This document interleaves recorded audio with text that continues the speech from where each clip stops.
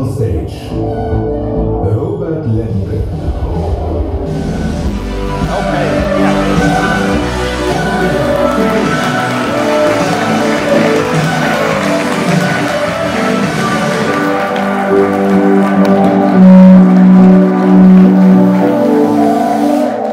Yes, uh, welcome, uh, and thanks for, for the welcome of you. So I'm, I'm very happy that I can stand here on stage uh, for the NEOS team. Uh, somehow, when we talk about uh, who should stay on stage, uh, they don't really. I should ask them more. Anyway, I'm, I'm really glad to have you here. yeah, I, I like that. Um, so we're sold out this year who would have thought that uh, some, some time ago that with our own NEOS conference and Flow conference, we, we would have a full room uh, and be sold out. And so I'll have a few minutes left to, to tell you about the uh, past, present, and future of the NEOS team. So it won't be a revolutionary story, but it will um, be the way to, to transfer a bit the information we have in the NEOS team to you guys uh, because for us, uh, many things are very obvious, of course, um, and we would like to uh, give you some idea of that. Oh yeah, so I have, this slide is mostly for SlideShare, so then someone downloads, downloads the slides, he knows who's the talk of. So I'll start with the past. Um, so what, what happened since the last Inspiring Conference? That is basically uh, what we always cover. And 15 releases we had during the last year. Uh, that is quite a lot of work, actually. So these are all the numbers we have. Lots of flow releases and also lots of NEOS releases. So um, we do also maintain the, the previous branches until they make, uh, don't make sense to um, maintain anymore, of course, because people will move to new branches anyway. So we, we have a lot of releases and lots of new features um, also. Um, and one of the most important features certainly was uh, the multi-language support in NEOS. That was a very important feature for, for many agencies um, who said, okay, then we can actually start creating websites with NEOS. And uh, you might have heard that already, but you can also see that in a, in a dedicated talk today, uh, tomorrow, um, that the whole idea about uh, language support um, quite, took quite some consideration because we wanted to make it very general and created this concept of content dimensions. And um, so we, we already know from a few projects now that this really pays off and is a really nice uh, mechanism to work with. Another deal breaker for many was uh, the speed of NEOS at some point. Uh, that was also solved last year. It uh, feels like we, we solved that way earlier, but it happened last year actually, where we introduced uh, the caching mechanism for TypoScript.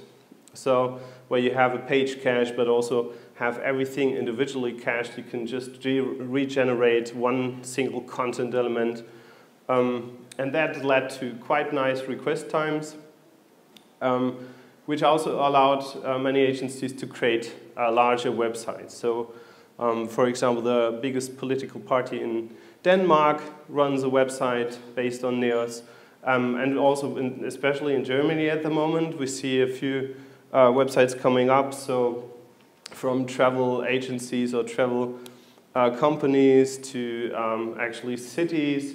Um, and also, we see integrations uh, with NEOS. And that is a very important point. Um, it goes into the direction what Stefan just said. We always created NEOS in a way that it allows us to, to have a content management platform um, hooking into all kinds of services and content sources and uh, channels where we put content into. So that is one of the reasons why we actually created that whole framework below. Yeah? And now we have projects where we integrate NEOS with other systems. So for example, with Commerce Solutions. Um, this here is a um, combination of Magento with NEOS created by TechDivision. Um, and uh, just recently, uh, I've been at the e-commerce camp in Jena, and we demoed a combination of a completely API-driven e-commerce system. So that is a shop which doesn't render any HTML output, but only has APIs for, for the products and cards, etc. And Neos was managing the whole front end, including the shopping cart and placing orders, etc.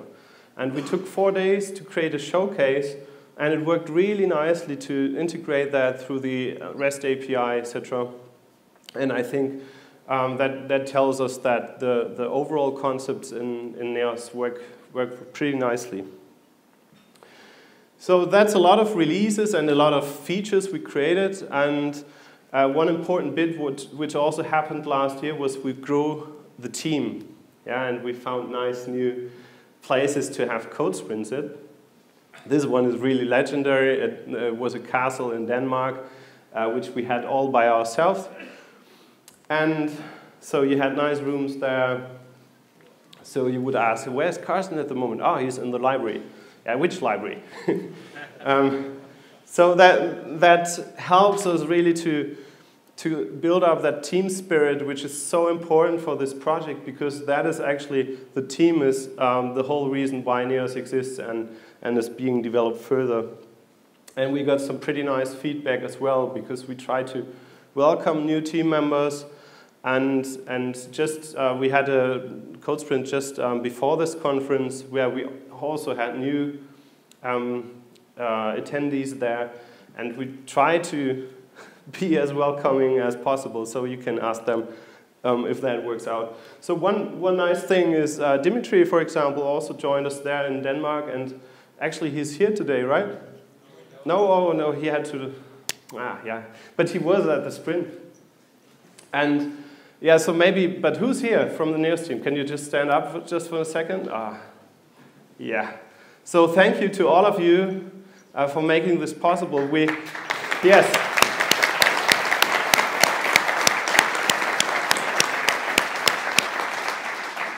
Okay. um, so that was the regular pizza evening uh, during the sprint we had this week.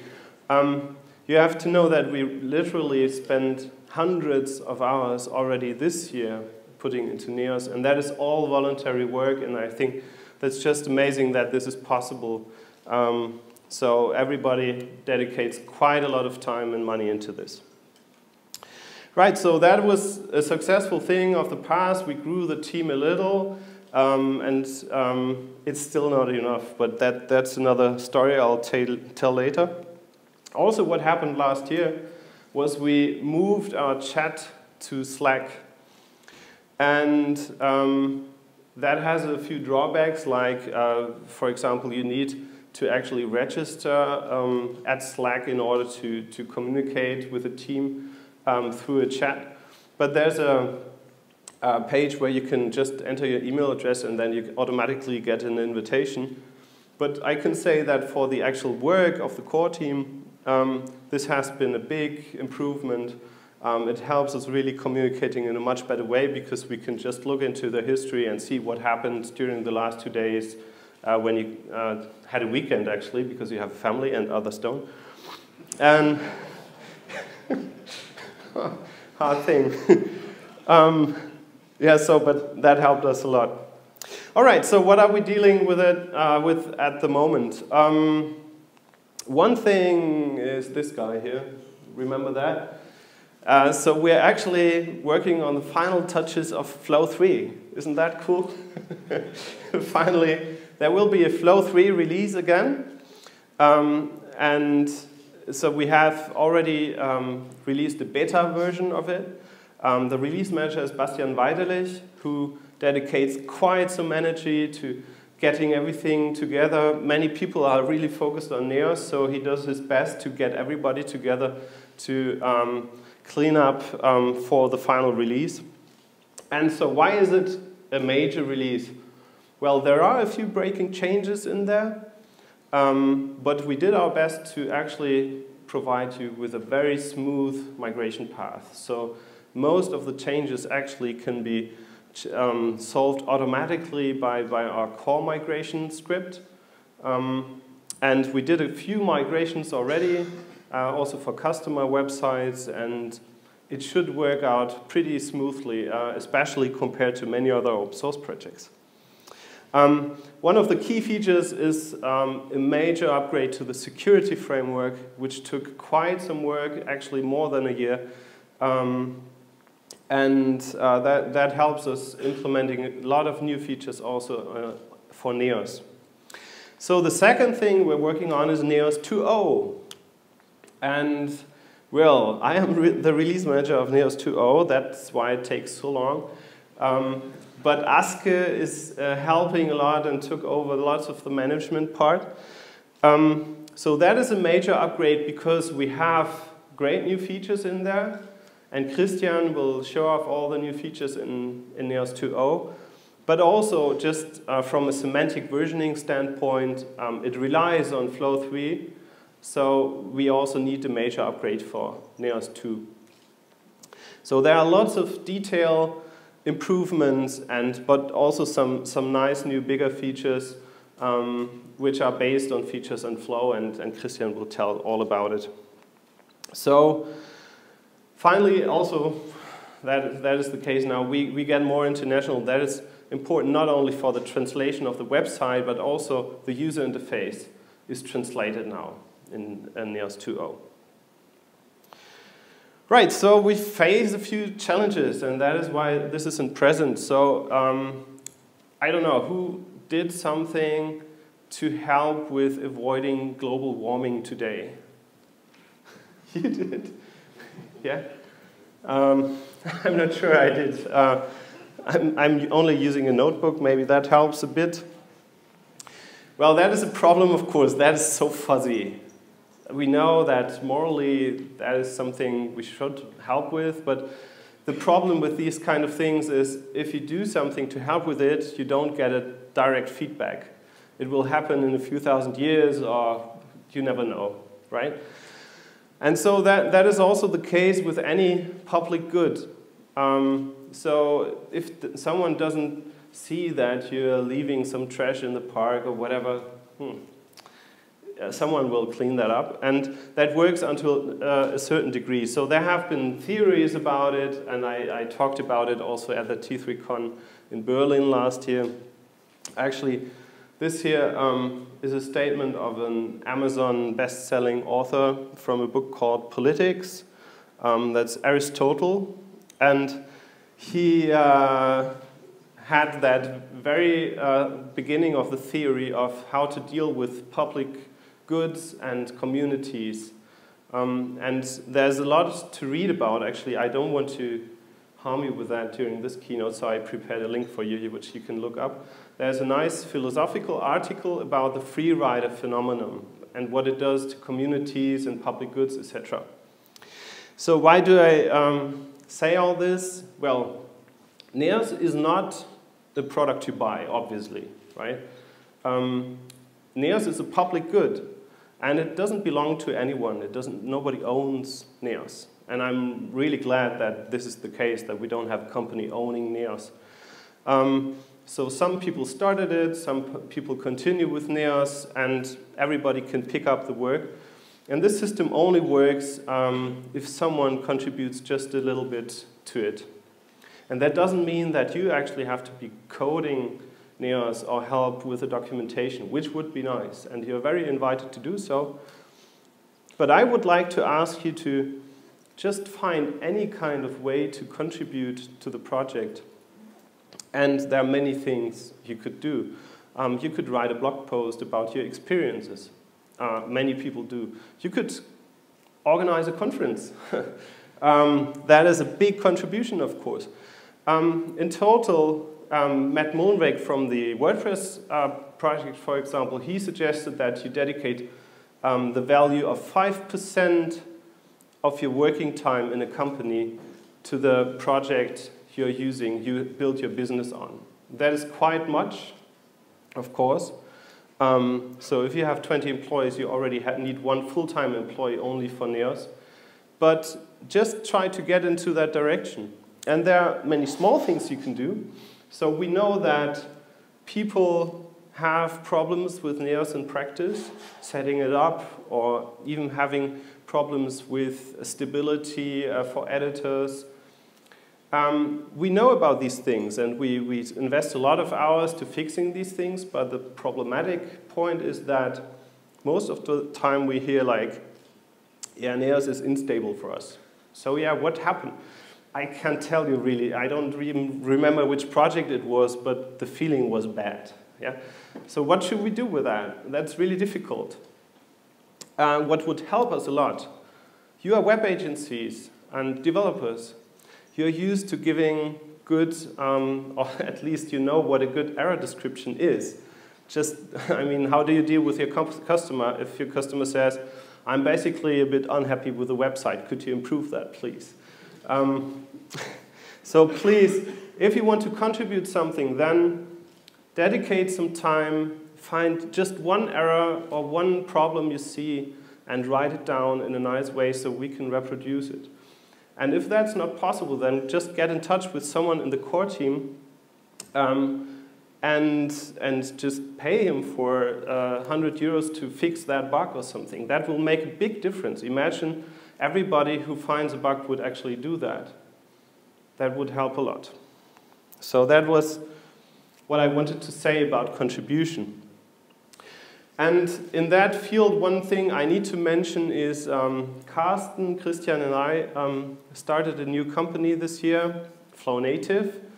And I'm mentioning that because one of, for one thing is um, you can actually come to us if you have any problems with Neos and need to have it urgently fixed and we will organize it so that we either fix it ourselves or ask the core team to do so. But um, so we provide a help desk with service level agreements to, to developers. We don't do end customer work ourselves. So we don't create websites. We are only there for you guys, for web agencies and for organize, uh, organizations um, using Neos. So we help you, right? And I want to mention it because um, it is important that you know how we want to place that company in our community. So this is one option some open source projects take. So the founder creates a company and more or less controls um, the, the open source project just because he's the founder, right? Um, and then you have the core team and the community. In practice, it might be structured differently, but the impact is this one. This is not what we intend. So we have a more fuzzy and chaotic model uh, which fits to our Neos project. Um, so we think, I mean, the founders have a company, the agencies have a company, uh, the, the, the core team members are parts of companies or not. They might be individuals, etc. And we just uh, play together and in some way, and there's no central, uh, centralistic uh, approach to that company. So when the role of Flownative, as I said, is we provide help to web agencies and end users um, and try to hopefully uh, finance the core team a bit better by uh, directing new feature requests, etc., to the core team. Right, so that was about Flownative. Um, the future. Um, we have lots of tasks to do. We have a huge list of tasks, and we have to decide somehow with our resources we have what to work on next. And so I suggested to, to have two criteria for that. The first is what do we need to do in order to create an open, friendly, and effective community? Um, now that we have worked on all these major features, uh, we should take a bit more time focusing actually on building that community. We started in November with a project we call Red Carpet, which uh, is just for looking at bugs and features which enable newcomers to get started with Neos much, um, in a much easier way. So if you're interested uh, in what the state, oops, in, the, in what the state of that is, um, we have in the Jira board, we have an epic for that, uh, where you find all the red carpet issues. And the other thing is we want to lower the barriers um, for becoming a contributor to the NEOS team. And so we took a few decisions uh, just this week in the core team. One thing is we will drop the content contributor license agreement. So if you want to write code or documentation from now on, you don't need to sign that contributor license agreement anymore. That was only for um, having the chance to change the license of Neos and Flow at some point. And we do that now. Uh, so the next Flow version uh, will have the MIT license, which is the most liberal license we can have. Um, so we allow to do everybody doing anything with Flow and contribute uh, in the way they would like to. And another bottleneck we have seen was uh, the whole setup to actually, the whole steps you have to take just to fix a typo in the documentation, the CLA, getting an account at typo3.org, and getting a mentor for understanding Gerrit, etc. So we will move with Neos and Flow, we will move to GitHub.